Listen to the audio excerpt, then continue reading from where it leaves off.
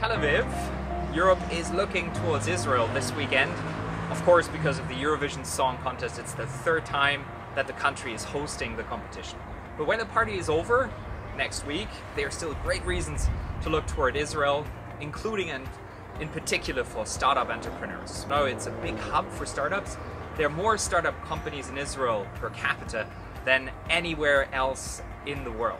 And there are great reasons, a ton of them. When I speak to venture capitalists here and to founders, they tell me, well, look, Andreas, there's a great set of universities, there's research and development, a lot of funding from military, from the state, immigration culture, hardworking culture.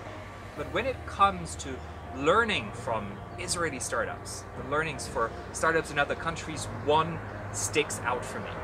And that is internationalization. Israeli startups, they think about going abroad right from the start.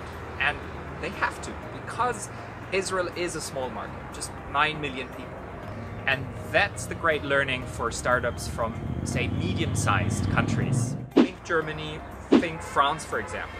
A trap for them, because the market is comfortably big, you can grow, but once you hit that ceiling, it's much harder to internationalize. Because you've grown so much, you may have a sticky company culture, you might still speak in your mother tongue rather than English, so it becomes more costly and harder to internationalize. So big learning, if you're an entrepreneur in one of those countries, think about going abroad and internationalizing much earlier than you feel comfortable.